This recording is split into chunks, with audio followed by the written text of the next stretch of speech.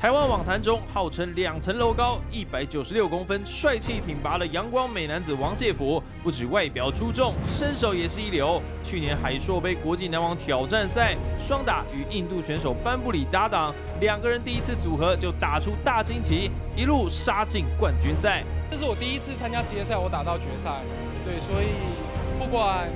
成绩如何？当然对我来说是一个很大的突破。比赛因与调度关系，班布里一日三战，体能消耗不少。双打比赛排在最后一场，王介甫最终以亚军坐收。